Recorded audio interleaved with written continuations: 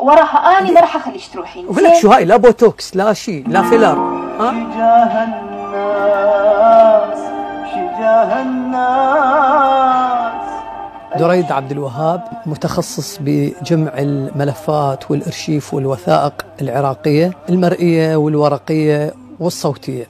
لكن التخصص الأهم هي المادة المرئية المادة المرئية اللي تخص أي مادة فيديو ابتداء من أول تأسيس لتلفزيون العراق سنة 56 انتهاء إلى مرحلة الاحتلال الأمريكي 2003 افتح يا سلسل أبوابك نحن الأطفال.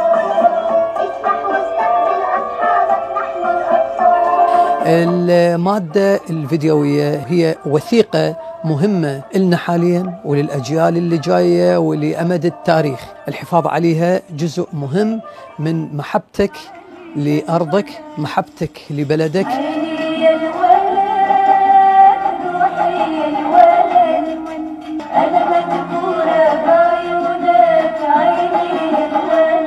عملية التوثيق والأرشفة هي عملية مو سهلة بصراحة يعني مو أي واحد يقدر يمتهن هذا الموضوع لأن يحتاج له بحث يحتاج له جهد يحتاج له وقت؟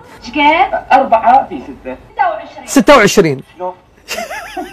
أنت شلون 26؟ أنا شخصيا بديت آه، آه، عملية ال- ال- ال- التسييف وعملية الأرشفة تقريبا في في منتصف الثمانينات أو في نهاية الثمانينات أنا بديت آه، أعمل ريكورد لأي مادة تظهر في تلفزيون العراق وتلفزيون الشباب.